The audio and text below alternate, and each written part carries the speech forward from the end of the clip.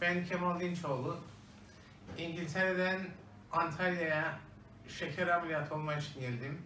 7 seneden beri bu şeker hastalığından üzerimde yan etkiler yapmaya başladı ve bunun ameliyatı için Antalya'ya geldim. Doktor Nurullah Bülbüller hocamızın yanında ve Allah'a şükür olduk. İyi bir netice aldık ve bunun neticesinde şimdi 3 gün sonra tekrar ayrılıyorum ve şeker hastalığımızın sonuna gelmiş e, durumdayız.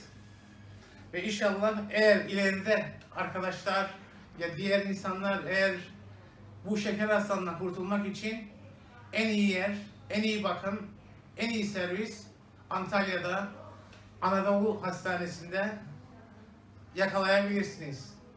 Çok teşekkürler.